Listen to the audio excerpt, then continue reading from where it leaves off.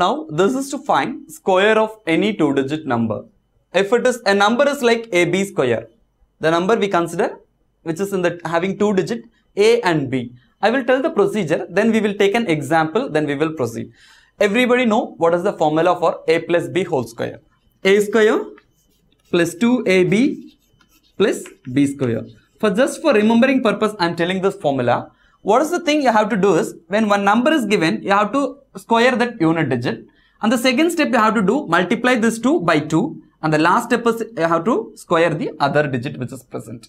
So this is about the procedure. If this is a two digit number, the first step you have to square the unit digit.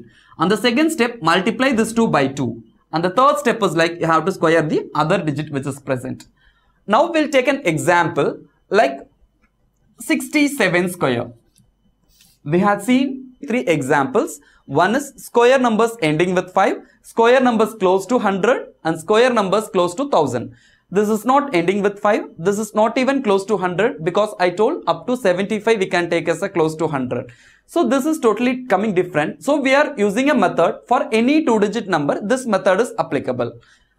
The first step I told unit digit you have to square. So 7 is the unit digit. 7 square will be 49.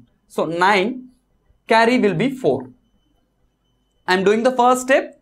B square in this, this is B is equal to 7. So 7 square is 49. 9 I am putting, carry is 4. Second step, I have to multiply this 2 by 2. 6 into 7 is 42. 42 into 2 is 84. 84 carry already 4 is there. So 84 plus 4 it is 88. Now carry is 8. The last step you have to square the other digit that is 6 square 36. 36 plus 8 44. Very simple. You have to square this digit. Then second step is you have to multiply this 2 by 2. And the third step is like squaring the other digit. This is to find square numbers of any two digit number.